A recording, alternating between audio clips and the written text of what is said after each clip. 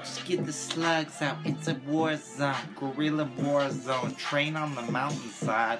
How many times can you run up and down the hill before you go back and choke and feel the thrill of immortality and devil power? I watch it on my YouTube TV widescreen. Then I pull out X videos and watch some hoe slugs. Bust some big old Godzilla nuts and take a Godzilla dab. Yes, I'm pretty bad. And making this rap, I don't do it for the monies, but I got about 40 CDs that I gotta burn. Burn in hell, you niggas. Don't you know I'm right here? Part North African, part Italian, part French, part German, part Native American, part Irish, Scottish, too, and English. That's a little too racy for the whole rap game. One of them things, it's pretty whack, them black too, man.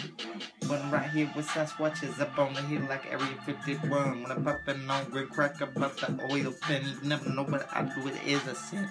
Yes, the devil, he does get high on them shrooms. I give them to him, they are looming in the cut. But I'm gonna run up the west side of the mountain to the meadow. Chill up there, smoke weed, I'll be hidden, and they won't be coming out on the regular. Cause that's a spot. Cause that's where I buried my abandoned drug lab back in the day. A long, long, long time ago before I had to go and do work release like Kunta Kinte though. Hardest worker, biggest toker in the whole damn county twerking out them thousand pounds of leaves, thousand pounds of leaves. Moving rocks and dirt and soil, digging ditches and everything. Janitory cleaning up body parts and everything. Up here on the hill, digging little graves for them damn turkeys. You don't want to do the work, G, because the turkey was injured. I did not want the misery to continue, so I put it out as misery fed into Chewbacca. Then I watched Chewbacca Star Wars. You know how I blaze. Oh, yes, I was Blaze. But I got a young one. Velociraptor, young, and he is strong.